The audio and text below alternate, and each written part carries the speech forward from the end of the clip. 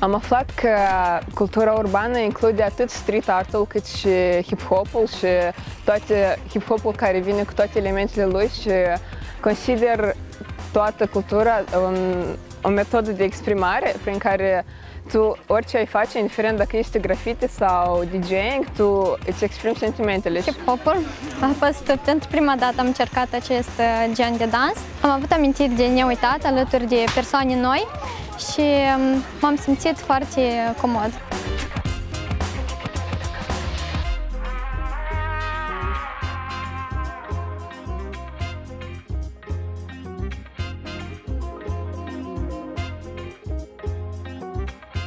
Мне кажется, эта культура очень хороший способ показать детям, что есть действительно мир.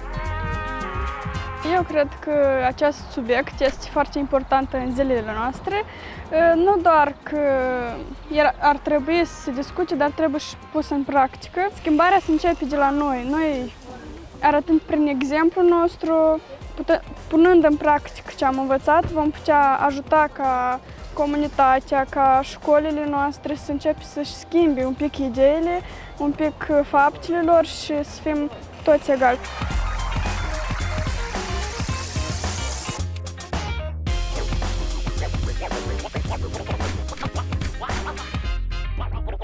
Femeile și bărbații ar trebui să fie mai, mai uniți, să înțeleagă unii cu alții și să nu se respingă în unele meserii care vrea să le facă, vrea să le facă un băiet și o fată. Mulți oameni consideră fetele că sunt mai prejos decât uh, bărbați. Din opinia mea, eu nu cred că este adevărat. Egalitatea de gen pentru mine înseamnă oportunități egale între femei și bărbați.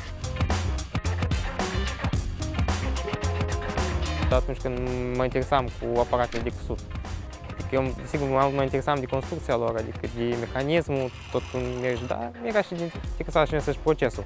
M-am întrebat de ce mă ocup cu asta, dacă sunt însăși băiet, de ce mă, ocup, de ce mă interesez cu sud. De fapt, orice, orice persoană, dacă dorește cu ceva într-un domeniu să se ocupe, are, trebuie să aibă posibilitatea aceasta.